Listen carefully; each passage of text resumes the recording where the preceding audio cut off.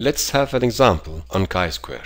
A drug company is testing a new cream for the treatment of dry skin. 200 patients received the new cream, that's the study group, compared with another 200 patients who received the old cream, that's the control group. After one week, 107 patients in the study group were cured, while 88 patients in the control group were cured.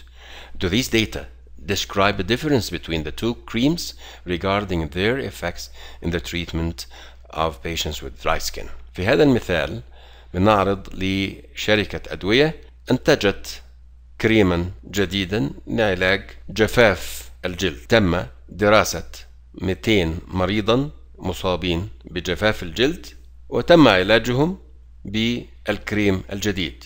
هذه هي مجموعة الدراسة. Study group. المجموعة الأخرى احتوت على 200 مريضا آخرين مصابين بجفاف الجلد ولكن تم علاجهم بالعلاج التقليدي كريم القديم. هذه هي المجموعة الضابطة control group. بعد أسبوع من العلاج في المجموعة الدراسة تم شفاء 107 مرضى.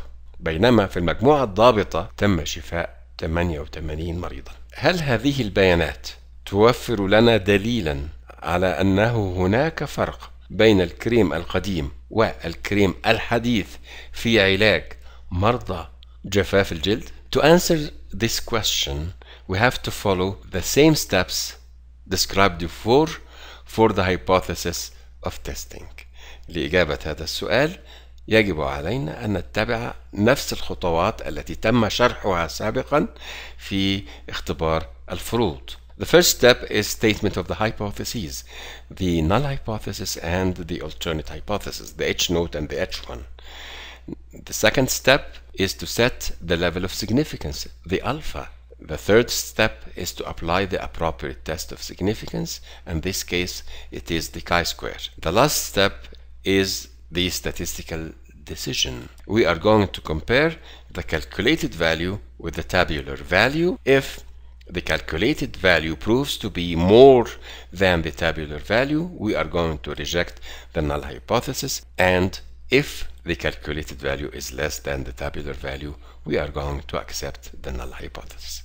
خطوات اختبار الفروض هي كما يلي الخطوة الأولى وضع الفروض فرض العدم والفرض البديل الخطوة الثانية هي وضع مستوى المعنوية أو الألفا. الخطوة الثالثة تطبيق اختبار المعنوية المناسب.